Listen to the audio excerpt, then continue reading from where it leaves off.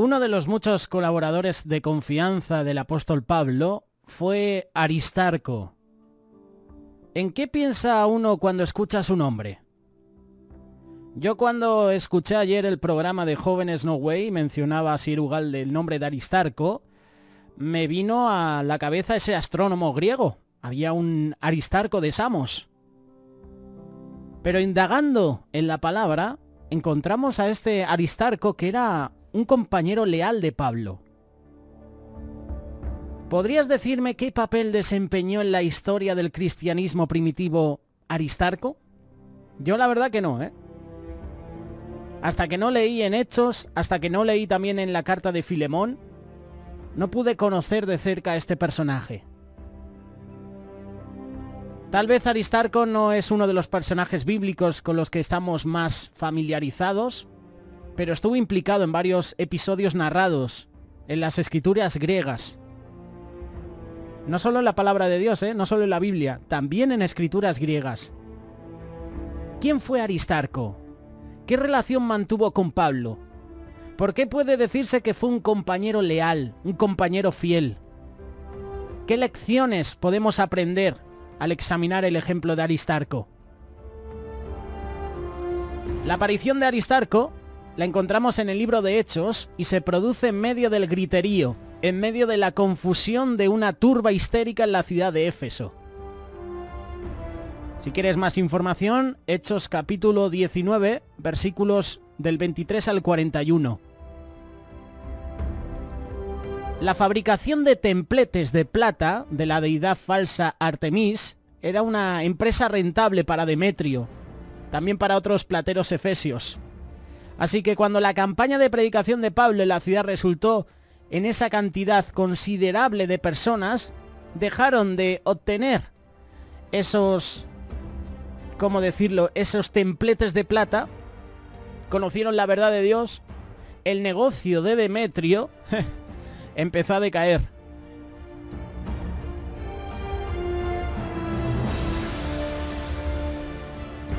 Demetrio vaya personaje, agitó a las personas, agitó a los demás artesanos y les dijo que la predicación de Pablo no solo representaba una amenaza para su seguridad económica, sino que también planteaba la posibilidad de que la adoración de Artemis parara, desapareciera. Al no poder encontrar a Pablo, la encolerizada turba arrastró la fuerza hasta el teatro a sus compañeros. Y aquí entra Aristarco y Gallo, Ambos se encontraban en gran peligro. Los amigos de Pablo le rogaron a él que no se arriesgara en el teatro. Imagínate la situación. La histérica turba que estuvo gritando por unas dos horas, grandes Artemis de los Efesios, y por otro lado, Pablo, Gallo y Aristarco predicando de Dios. Grande es nuestro Dios. ¿Tú te imaginas la situación? Encontrarse a merced de aquella multitud fanática sin ni siquiera poder hablar en su defensa? Debió ser una experiencia terrible. Debieron preguntarse si lograrían salir vivos de esa situación. Felizmente así fue. De hecho, el relato de Lucas es tan gráfico que algunos eruditos se han aventurado a decir que recurría a los testimonios de quienes habían presenciado el suceso quizás los dos mismos, Aristarco y Gallo. Finalmente, el registrador de la ciudad apaciguó los ánimos de la gente. Aristarco y Gallo debieron sentirse enormemente aliviados cuando le oyeron reconocer con objetividad que eran inocentes. Y luego el tumulto desapareció, se deshizo. ¿Cómo nos hubiéramos sentido nosotros después de una experiencia semejante? ¿Habría llegado a la conclusión de que ser misionero con Pablo no era para usted? Yo que vengo a servir a Dios, que quiero predicar el Evangelio y de repente al hacerlo se levanta un tumulto de personas que me quieren matar, que me quieren apedrear. ¿En cuántas ocasiones nosotros nos hemos avergonzado del Evangelio?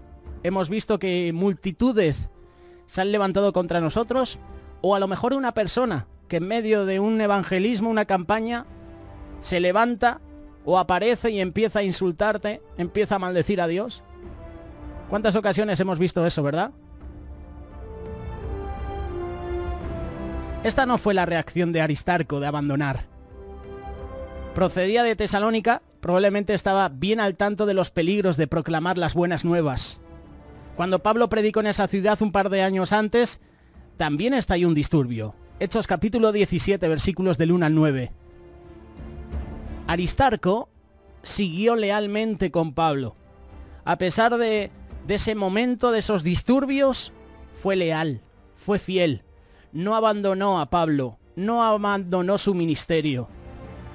Nosotros en muchas ocasiones sí que lo abandonamos, ¿eh? Y puede ser otro ministerio, puede ser otro trabajo. Cuando vemos que se levantan los gigantes, cuando vemos que, que el trabajo que estamos haciendo no da fruto, ¿eh? abandonamos. Aquí Aristarco nos está dando un ejemplo de no abandonar cuando llegan los momentos de prueba. De Grecia a Jerusalén. Algunos meses después del disturbio de los plateros, Pablo se encontraba en Grecia a punto de embarcarse para Siria de camino a Jerusalén, cuando los judíos fraguaron un complot contra él, otro más. Hechos capítulo 20, versículos 2 y 3. ¿A quién encontramos con Pablo en estas peligrosas circunstancias? Aristarco. Por eso, Pablo le dice compañero leal y fiel. Esta nueva amenaza motivó a Pablo, también a Aristarco y a sus acompañantes a cambiar de planes. Primero viajaron a través de Macedonia, luego fueron por etapas a lo largo de la costa de Asia Menor hasta que finalmente embarcaron para Fenicia, en Patara.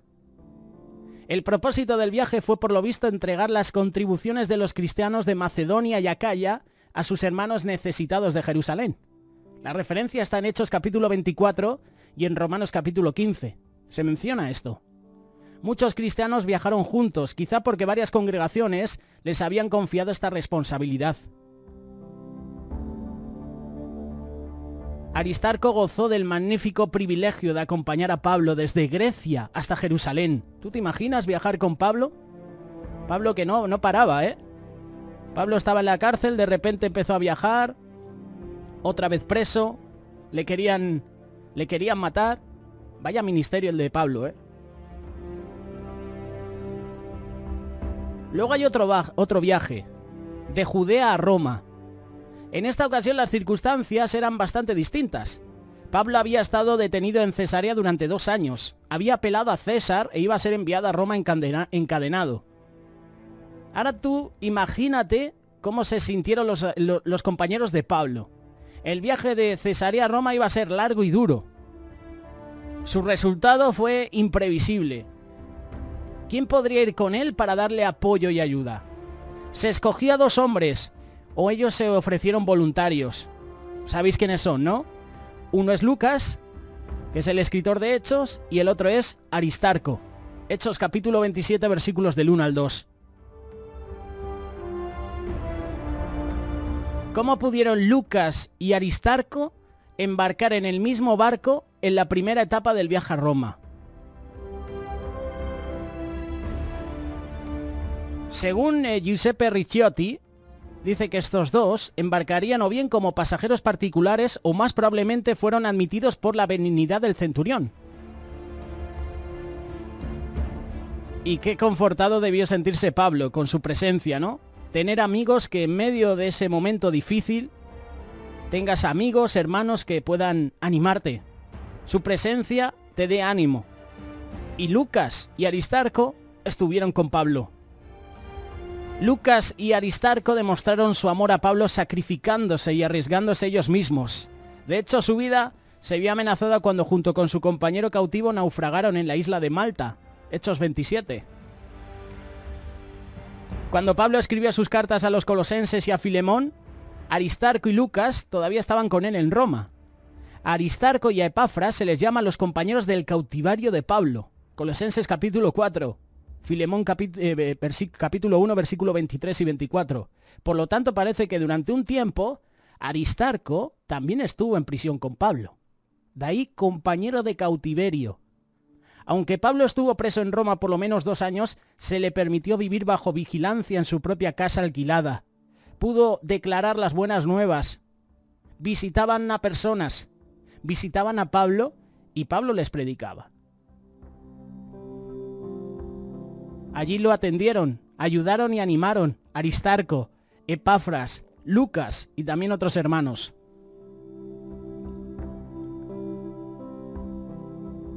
Tú lees estos diferentes episodios en los que aparece Aristarco en el relato bíblico y qué imagen se revela de él. Aristarco sobresale por ser un hombre que podía afrontar la oposición y salir con la fe intacta. Además tenía un hermano al que podía decir, mira Pablo, todo lo que está sufriendo y cómo el Señor le respalda. Qué bueno es que nosotros nos acerquemos y estemos junto a personas que, a pesar de la prueba, a pesar del dolor, a pesar de la situación difícil, ves cómo el Señor le respalda. Te salpican las bendiciones, como se nos comparte muchas veces.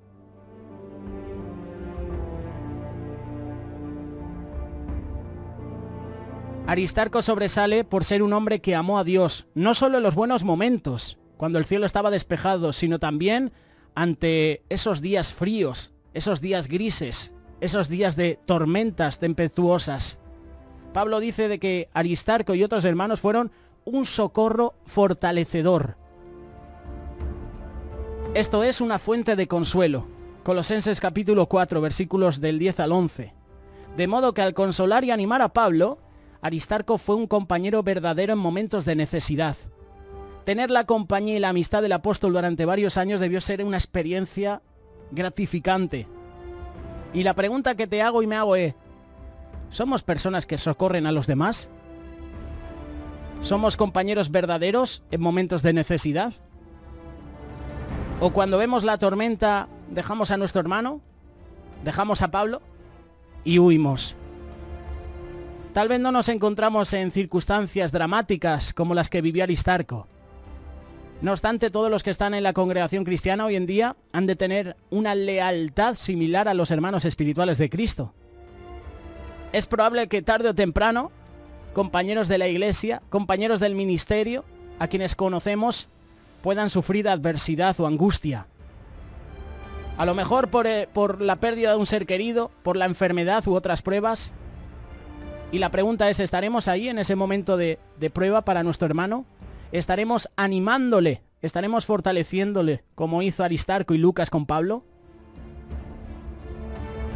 Si somos fieles a ellos y los ayudamos, si consolamos y animamos, vamos a tener gozo y vamos a demostrar que somos compañeros leales como Aristarco. Que yo no llamaría a mi hijo Aristarco, porque no me gusta el nombre. Pero la persona en sí de Aristarco es un ejemplo. Y ese ejemplo sí que se lo daría a mi hijo a otra persona. Una persona que fortalece a Pablo, un compañero de cautiverio, un compañero leal, un amigo fiel, Aristarco.